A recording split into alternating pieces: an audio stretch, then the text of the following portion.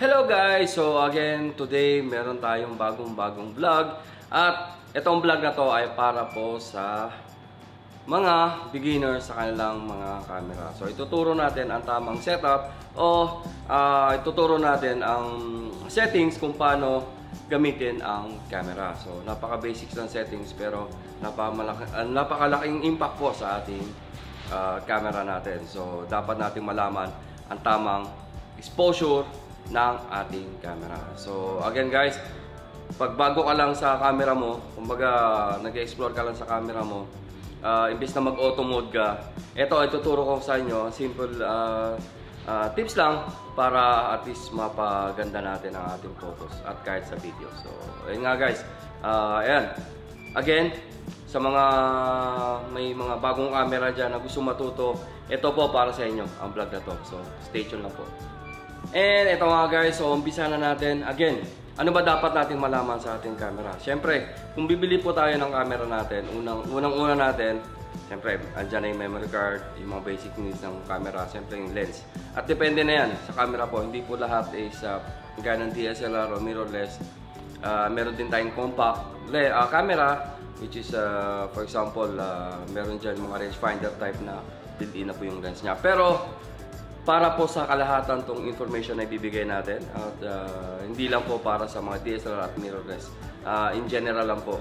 Kung ang uh, camera nyo ay merong manual mode, so eto, uh, pasok na pasok tong vlog natin para, para sa inyo.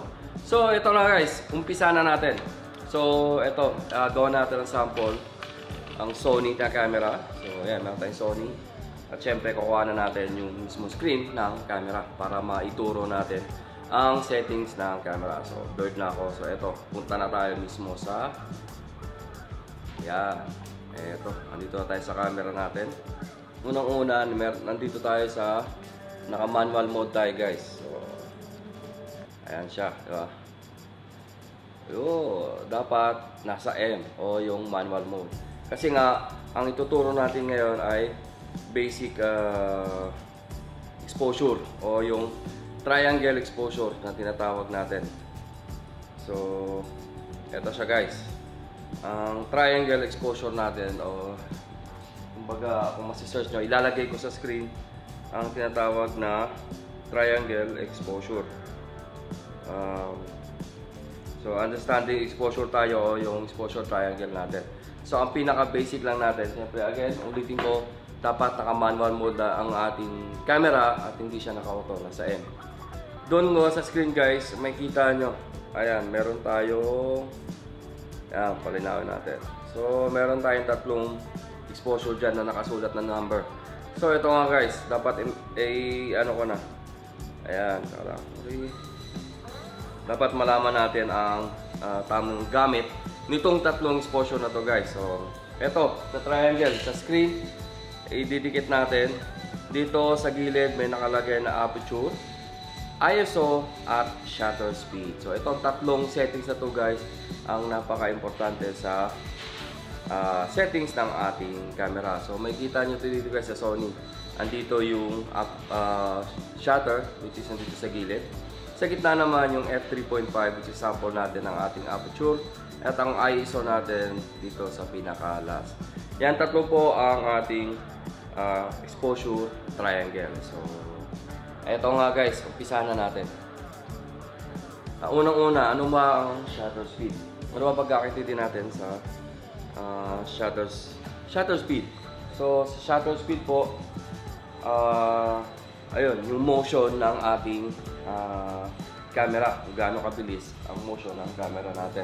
Para mas madali nating isip, ano, tandaan, uh, hindi lang po sa sa motion, siyempre ang uh, pasok ng ilaw kung gaano kabilis. So, ito po yung ating shutter speed.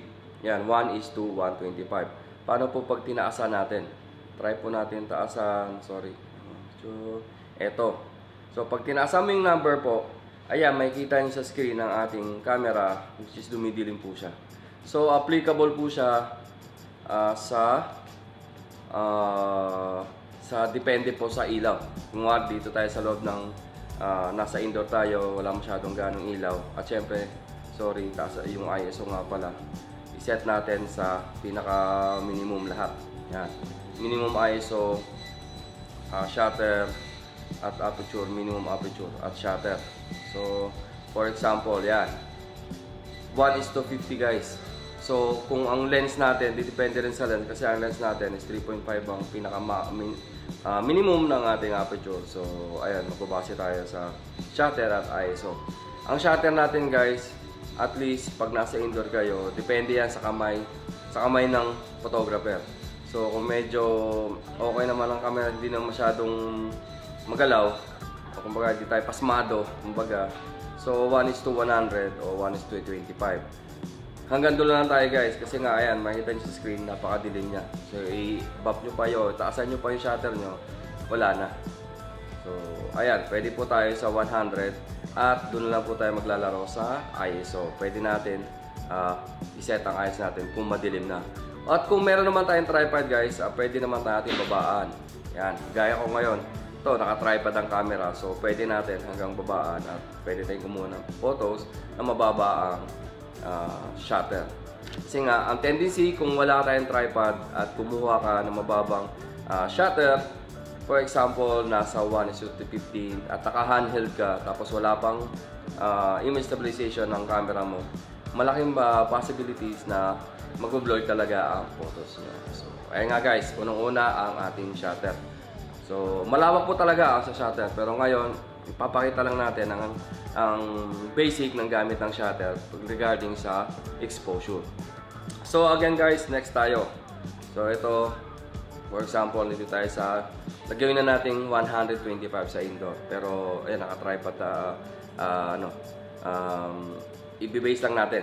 Kung naka-tripod nga ulit tayo, pwede naman tayo mag, ayan, So makikita nyo 1 to 10, pwede tayong maglaro ng exposure pag naka-shutter pa naka-tripod tayo. So again guys, next ang ating aperture, yung nasa gilid. So kung mapapansin nyo, makikita nyo lagi ang F. So yan, meaning yan po yung ating aperture, F3.5, F4, F5.6. Hindi depende po yan sa lens na ginamit natin. So, eto nga, ang pinaka-minimum natin na aperture is 3.5. Uh, ayan, meron po, depende po yan sa lens. May mga lens po zoom lens na hindi po sa fix ang aperture. Pag sinumo siya ng ganon, gumagalaw din ng kusa, automatic ang aperture kasi nga, depende po sa lens yan. Hindi po siya fix. Pag nakas nakalagay sa mga lens, 3.5 to 5.6, gaya po ng gamit natin ngayon. Uh, for example, ito, uh, naka 3.5 to 5.6. Ibig sabihin po niyan is uh, gagalaw din po yung ating aperture pag isinum natin ang ating lens. So, mostly ganyan lens po. Uh, yan po yung mga zoom lens na may uh, gumagalaw yung kan kanilang aperture. So, kaya minsan kung papansin nyo, merong mga, mga lens na mahal kasi nga ga, hindi lang po sa mahal yung lens kasi nga uh, yung aperture niya eh, mas mababa o mas wide yung aperture na. Like for example, na 1.8, 1.2, 1.4. So, mga ganong lens mo. So, ayan, example natin. Uh, ayan, naka, uh, i-zoom out natin ulit, which is uh, 18mm. So, ang lens natin, for example, is 18-135. Pag nasa 18 ka, automatic na magiging 3.5 po yung lens natin. Pero, hindi lang po yan. Kasi pwede natin i-adjust din ang ating shutter. Ay, sorry. Uh, aperture. So, ayan guys. Yan. Pwede niyo adjust ang kanyang aperture. So, the more po na mataas ang number na aperture natin, the more na magpo-focus halos lahat ng magpo-focus ang mga area. So, mas ano siya kung 7 uh, F 8.0 or pataas, mga ganyan pa F5.6. So, magiging madilim nga siya, pero focus po siya. Kasi nga, pwede mo naman laruin yung kabila yung ISO mo. Kaya, ang area na makikita nyo, halos lahat naka-focus. Kasi nga, white yung nap, uh, naroon ng lens ng open ng lens natin. So ayan, papakita ko lang yung sa screen yung number ng mga siya, uh, aperture natin. So nga guys, ang aperture natin, unang-una dumidepende po yan sa uh, sa lens na gamit nyo at syempre kung uh, anong style nga ulit ang photography ang gusto nyo. At depende nga ulit sa lens. Kung sample again, kung gusto nyo naman mag-blurred ang background nyo, syempre mas mainam kung naka low aperture kayo. Yung 1.4, F, uh, 1.4, 1.8, 1.2. Yan, mag-blur na po ang ating background doon. So, eto nga guys. Uh, isa pang tip, una-una kung gusto nyo mag-blur ang background nyo, gusto nyo ah eh, ganun nga, focus yung subject pero blur yung background. Ayun po, pwede po natin gamitin ang eh, 1 point ah 1.4. So, ayan. Diretso naman po tayo sa ating ISO. So, bibilisan lang natin guys. Ah, sa kanan natin gagawa ng ano, ah more deep ah, ano pa sa settings ng ating camera. So, dito naman tayo sa ISO guys. Sa ISO naman guys, eto ang sensitivity ng light natin. So, ayan, may mga camera na ngayon guys na ah, tulad ng mga halos ka Sony na kahit i-boost mo yung ISO natin, maliwanag pa rin siya. Kumbaga, hindi siya mag... Ah, maliwanag, sorry. Liliwanag siya pero hindi siya mag-noise. Ah, hindi kagaya ng mga mga unang mga camera, mga ayun, pag uh, binus mo yung ISO niya, magno-noise na po siya within 1,000 o something. Pero sa halos karamihan na ngayon ng camera guys, ah, sa mga bago, ah, kahit na-boost mo yung ISO from 1,000 pahigit, clean pa rin ang ating camera o ating ah, photos. So, ayan. For example na lang, nandito ako sa 1,000. ISO 1,000. Napakaliwanag na guys.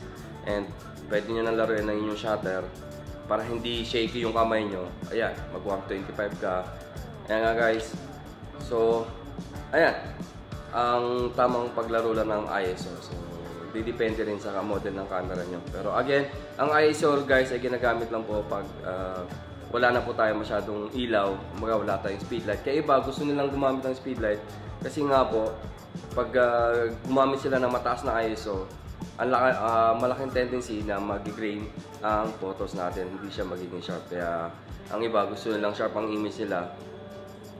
Minsan, o kadalasan, mas mababang aperture ang ginagamit nila para mag-sharp ang image nila. So, hindi siya grain.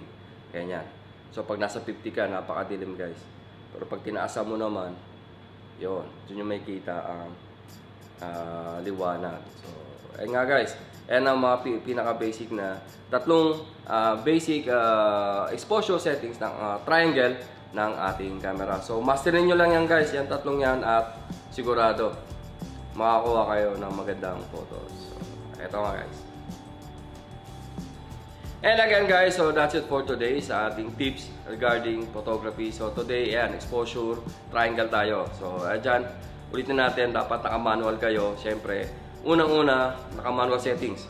Ah, pangalawa, check natin ang ating ah, shutter, ah, ISO at ang ating aperture. So paglaruan nyo lang guys, ako, ah, sa totoo lang, mas maintindihan nyo kapag naka-manual kayo at lagi nyo paglaruan yung camera nyo.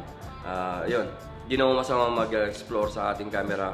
Basta gamitin lang, practicein lang ang manual mode.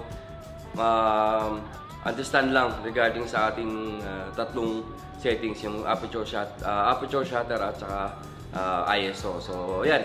Yung tatlong yan guys, pag nakuha nyo na, na-master yung tatlong exposure natin, sigurado maganda photos natin. So, ayun nga guys. So again, magbabalik tayo sa panibagong tips natin. So, hindi natin pababain para hindi masyadong boring. Sorry. So, ayun nga guys. Uh, flex lang ang natin. So, first, I want to flex my team, which is Team Positive Vloggers. So, shoutout sa may mga mga camera dyan. Ayan, eto para sa inyo. Uh, tips para mas mapaganda ang ating makakuha natin sa ating camera. At uh, syempre sa mga admin at members ng Team Positive, shoutout dyan lahat. At sa mga subscribers natin. So maraming maraming salamat sa ating mga subscribers na naniniwala sa ating ah, vlog at syempre sa sumusuporta sa ating vlog. Ah, huwag natin kalimutan, road to 5K po tayo ngayon. So yan, imigay tayo ng magandang microphone. So yan.